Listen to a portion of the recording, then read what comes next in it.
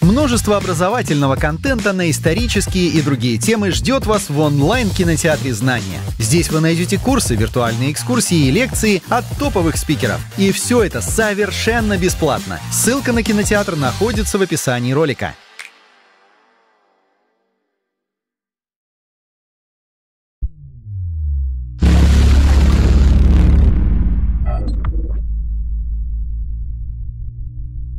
Китай – уникальная страна во всех отношениях. Один из самых сложных языков мира, уникальная культура и менталитет, и если не самая, то точно одна из самых древних историй государств. Нам, представителям европейской культуры, далекая Поднебесная кажется еще более экзотической и непонятной. Отсюда неудивительно, что она обросла множеством мифов, в которые люди верят и не догадываются о своих заблуждениях. Мы здесь говорим об истории, а потому и разбирать будем именно исторические мифы. Собственно, Китай китайская история и вправду довольно пестрая, потому отличить правду от вымысла простому обывателю бывает очень сложно. Но не переживайте, друзья, мы для этого у вас и есть, чтобы помочь вам с этим. Готовьте миска рис, сажайте кошка-жена за монитор, мы отправляемся в путь. Говоря об истории, давайте начнем с самого начала. Первый миф – древность Китая. Тут мы немного поругаем Китай, так как именно он во многом является источником мифа о том, что он древнейшее государство на Земле. Из ныне существующих государств, в принципе, Китай и впрямь может претендовать на это звание, так как имеет минимум культурных изменений с тех бородатых времен, если сравнивать с теми же Индией, Ближним Востоком и Европой. Однако древнейшим государством в истории Китай точно назвать нельзя. Это звание у него отнимает Египет и Шумер, которые уже пять тысяч лет назад активно развивались, имели полноценную письменность и вели торговлю друг с другом.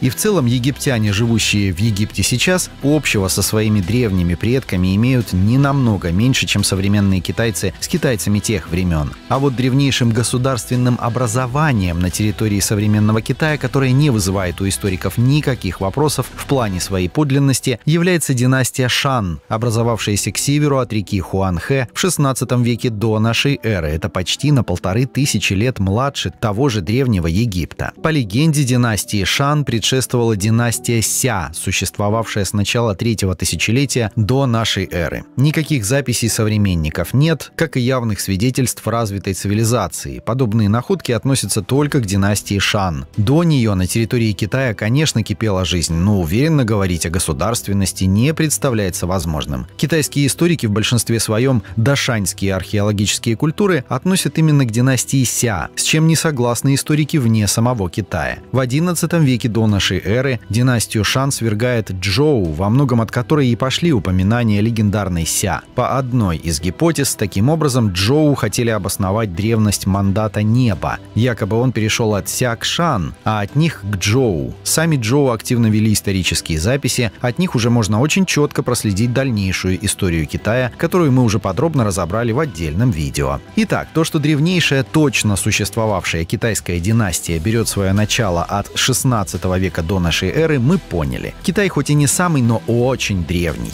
Уже этот факт разбивает наш следующий миф о том, что Китай якобы не умеет воевать. Да, за последние 200 лет Китай не очень хорошо проявлял себя в международных конфликтах. Опиумные войны, раздел Китая между европейскими державами и война с Японией закрепили в умах многих заблуждение, что Китай хоть и огромный, но довольно беззащитный. Спешим вас заверить, что это не так. Да, 19 и первая половина 20 века для Китая выдались сложными, но учитывая возраст Поднебесной, это крошечный отрезок в ее истории. Не смогла бы столько прожить империя, которая не умеет воевать, не так ли? Вообще этот миф мы уже подробно развенчали в другом нашем видео, поэтому здесь очень кратко. В принципе, если говорить о древней и средневековой истории Китая, то ни о каком выживании и речи нет. Китай был безусловным гегемоном региона на протяжении тысячи тысячелетий. Да, авторитет пошатнули монголы на каких-то сто лет, после чего были благополучно скинуты. Если говорить о современной истории, то после прихода к власти коммунистической партии военные успехи КНР пошли в гору. Корея, Вьетнам, Тибет, Индия и еще ряд региональных конфликтов. Во всех Китай показал себя блестяще, будучи порой изначально в проигрышной позиции, и уж точно не должен вызывать никаких вопросов. В качестве последнего аргумента можно привести искусство войны Сунь Цзы, которое в входит в программу подготовки по военной тактике всех современных армий, включая США. Но отвлечемся от войн и перейдем к чему-то более мирному. Следующий миф – является ли конфуцианство религией? Сегодня многие полагают, что конфуцианство долгое время было официальной религией Китая, вплоть до прихода ко власти социалистов. На деле конфуцианство – философское учение, разработанное Конфуцием в середине первого тысячелетия до нашей эры. Назвать его китайской религией – то же самое, что назвать учение Сократа и Платона религией Древней Греции и Рима. Отличие разве что в том, что конфуцианство изучалось в китайских школах вплоть до 20 века, пробыв очень популярной идеологией. По сути, две с лишним тысячи лет. Вообще-то конфуцианство и сейчас никуда не делось и остается очень популярным в самом Китае и за его пределами, но в обязательную школьную программу КНР уже не входит. Сам Конфуций не считал себя философом, а скорее просто учителем, который стремится помочь нуждающимся, а в тексте его учения было сформировано уже его учениками. Это объемная и сложная идеология, которую кратко можно выразить такими фразами, как «совершенствуй других, совершенствуя себя», «поступай по справедливости, а не по выгоде» и «следуй пути неба, ибо все предопределено». В последнем аспекте и прослеживается что-то околорелигиозное. И вправду существует религиозное трактование конфуцианства, которое называется жудзяо, однако в первую очередь конфуцианство всегда воспринималось именно как этико-философское учение, не более. Касательно религии, Конфуций не верил в богов и духов, а само конфуцианство противоречит некоторым традиционным религиозным верованиям. Тем не менее, все эти две тысячи лет конфуцианство с религией сосуществовали. Помимо буддизма в Китае Китае была и традиционная система верований в духов предков, а также идеология небесного мандата, с которой конфуцианство тесно переплетается. Что небесный мандат, что конфуцианство учат определенной социальной иерархии и тому, что у каждого члена общества есть своя определенная судьбой роль в обществе. Собственно, раз заговорили о небесном мандате, давайте перейдем к мифу о поднебесности Китая. Существует очень популярный миф о том, что китайский император претендовал на вообще все все территории земного шара, а Китай являлся главным поднебесным государством. Вообще, как бы так оно и есть. Как говорилось, ранее небесный мандат, вероятно, был придуман при династии Джоу для обоснования легитимности власти правящей династии. Грубо говоря, работало это следующим образом. Главная божественная сила в лице неба дает своему наместнику на земле право осуществлять власть над простыми смертными и быть, по сути, отцом народа. Отношения отца и сына, кстати, прописывались в учении Конфуция, Конституция. И именно эти отношения закреплялись между народом и императором и предписывали взаимное максимальное уважение и почтение. Вроде бы что-то похожее есть у всех монархий, но не совсем. Мандат не просто объяснял источник власти монарха, он также аргументировал переход власти от одной династии к другой.